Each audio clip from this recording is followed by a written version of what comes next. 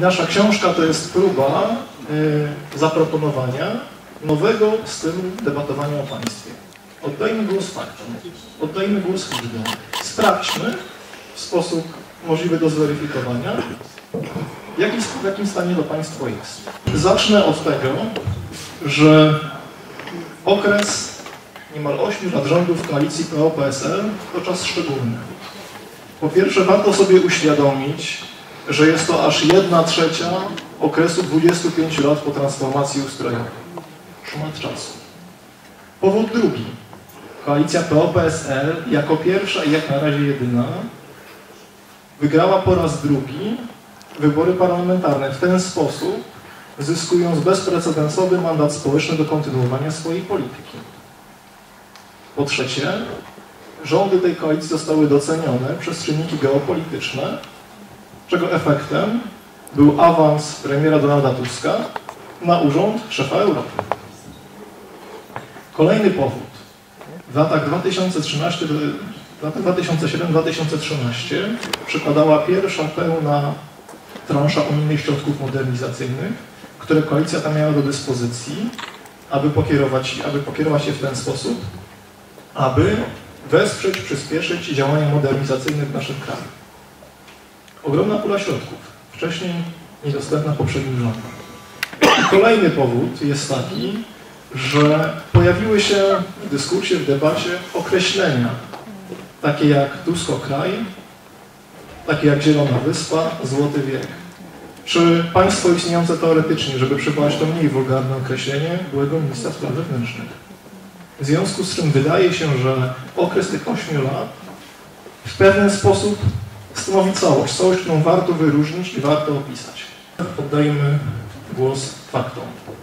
Więc szkoda, że nie ma, szkoda, że nie ma kontrkandydatów, przedstawicieli koalicji rządzącej, gdyż chciałem zacząć od informacji dla nich w pewnym sensie pozytywnej.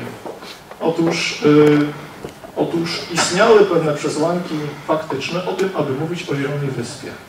Jeżeli przyjrzymy na skumulowany wzrost PKB z ostatnich 7 lat i porównamy różne państwa członkowskie Unii Europejskiej, faktycznie ten wzrost w Polsce był największy z tych wszystkich państw. Najmniejszy był w Grecji.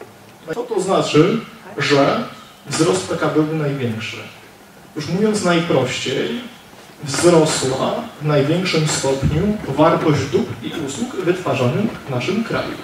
Tyle i tylko tyle ale w jaki sposób wzrost wartości towarów i usług w naszym kraju przekłada się na dobrostan polskich rodzin. Proszę Państwa, to zestawienie pokazuje nam, jaka jest siła nabywcza gospodarstw domowych różnych państw europejskich. I mimo owego pięknie wyglądającego wzrostu gospodarczego, nasz kraj lotuje się na całym końcu przed Rumunią i Bułgarią. Skoro jest tak dobrze, produkujemy coraz więcej, coraz bardziej wartościowych usług i towarów, dlaczego polskie gospodarstwa, polskie rodziny są cały czas tak biedne. Dlaczego mimo owych wspaniałych owoców wzrostu odnotowywanych przez różne ośrodki badawcze w ciągu ostatnich kilku lat zasięg ubóstwa skrajnego rośnie? W takim razie, gdzie owe pieniądze się podziały? Dlaczego, skoro państwo nam się tak ładnie rozwija, skoro środki unijne wpompowywane są w budowę dróg, w Polsce w porównaniu innymi podobnymi krajami tak wiele jest dużych miast, miast pozbawionych połączeń kolejowych. Warto tutaj zwrócić uwagę, że w porównaniu z naszymi południowymi sąsiadami Polska jest płaska. Nie trzeba budować tuneli kolejowych drążąc przez skały. Owa polityka infrastrukturalna jawi się jako nieco karykaturalna, gdy zdamy sobie sprawę, że w ostatnim czasie udało się zasypać granice zaborowe w tym sensie, że ujednolicono sieć kolejową między zaborami, ale ujednolicono ją w dół poprzez zamknięcie części połączeń w byłym zaborze pruskim. Budowa pewnych trwałych źródeł rozwoju polega m.in. na tym, że stawia się na hasło innowacyjnej gospodarki. Będziemy produkować pewne towary lepiej, będziemy robić to taniej, będziemy konkurencyjni. W ten sposób buduje się trwałe podstawy wzrostu. Niestety pod względem innowacyjności nasz kraj lokuje się na szarym końcu europejskiego rankingu, mimo wpompowywania ogromnych środków we wzrost innowacji. I mamy paradoks. im więcej środków pompowywano w innowacje, tym gorzej pod względem tego wskaźnika wypadaliśmy w zestawieniu z innymi państwami Unii Europejskiej. Więc dokąd szły te pieniądze i na co były wydawane? Okres rządów koalicji PO-PSL jest także wyjątkowy z tego powodu, że ekipa ta była bardzo pracowita, jeżeli chodzi o uchwalanie nowych aktów prawnych. Mieliśmy do czynienia z, ze znacznym wzrostem ich produkcji w ostatnich latach. Ale czy to przekłada się w jakiś sposób na uproszczenie reguł funkcjonowania, na uproszczenie prawa podatkowego czy funkcjonowania? Nie. Potrzeba jeszcze więcej czasu pracy prawników, ażeby objaśnić to, według jakich zasad trzeba funkcjonować, ażeby postępować legalnie. Można to wprost nazwać pewnym przerostem regulacyjnym.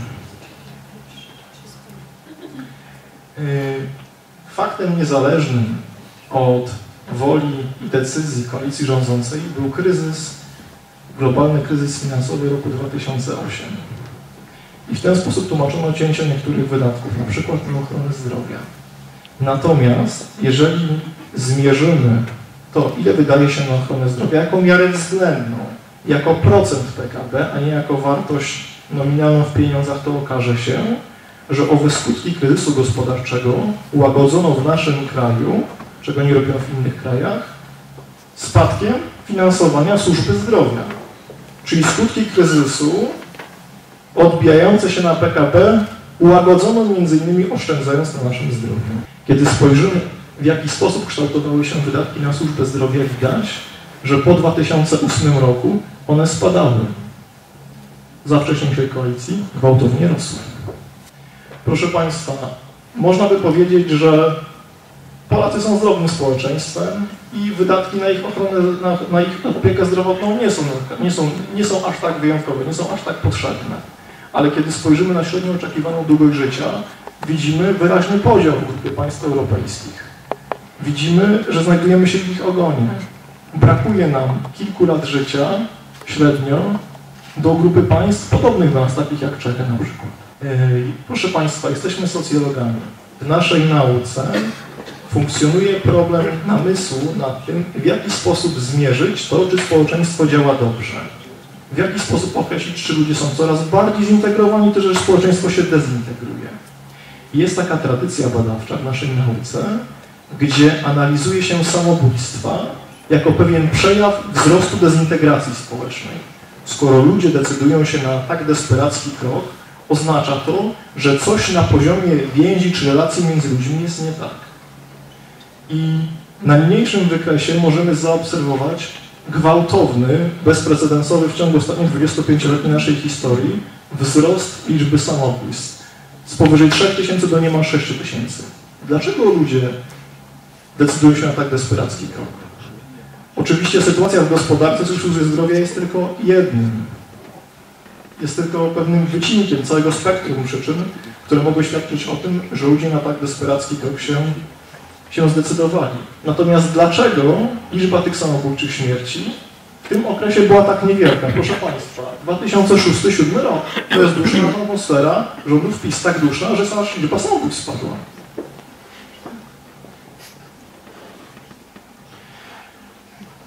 Zatem, czy nasz kraj staje się coraz lepszym, czy coraz gorszym w następstwie polityki minionych 8 lat miejscem do życia? I odpowiedzi na to pytanie udziela nam demografia dzietność polskich rodzin dramatycznie spada, rokując nas w pogoni Unii Europejskiej. Jesteśmy społeczeństwem wyludniającym się. Rodzi się mniej niż dwójka dzieci na jedną kobietę. W związku z tym nasz kraj się wyludnia. Następny wykres pokazuje prognozę liczby ludności w naszym kraju do 2080 roku.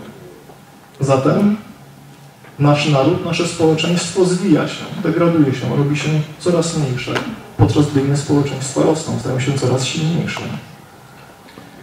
I w jaki sposób można podsumować ten zbiór faktów, o których Państwu chciałem opowiedzieć? Więc po pierwsze, faktem jest, że w trakcie minionych 8 lat Polsce udało uniknąć się recesji gospodarczej, podczas gdy recesja ta faktycznie wystąpiła na przykład u niektórych naszych południowych sąsiadów, gdzie przez szereg lat y, dynamika PKB osiągała ujemną wartość.